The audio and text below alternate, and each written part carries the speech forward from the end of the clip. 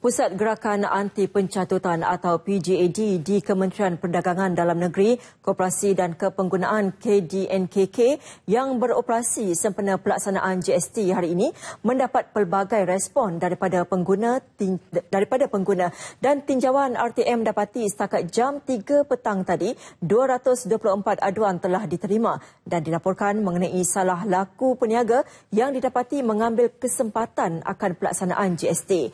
Menurut Pengarah Penguat Kuasa PGAD KPDNKK Muhammad Roslan Mahayudin, rata-rata laporan yang diterima adalah mengenai isu kenaikan harga tambah nilai kad prabayar. Uh, uh, top up tu setelah uh, dalam era GSC ini adalah telah termasuk di dalam tu dalam uh, dalam top up tu sendiri.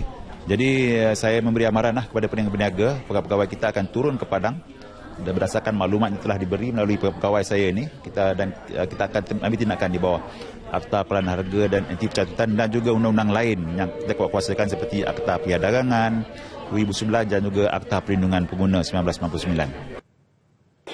Menurut beliau, sebaik sahaja aduan diterima, PJAD akan memaklumkan kepada penguat kuasa KPDNKK di kawasan terbabit untuk siasatan dan memberi maklum balas semula ke pihak PJAD dalam hari yang sama. Seramai 40 orang petugas ditempatkan secara bergile-gile dalam tempoh 24 jam pusat gerakan ini beroperasi. Setiap aduan yang diterima melalui talian hotline 1800-886-800 akan direkod dan disalurkan ke KPDNKK negeri untuk tindakan susulan. Sementara itu, setakat hari ini sebanyak 30,000 semakan dibuat oleh pengguna melalui aplikasi MyKira GST.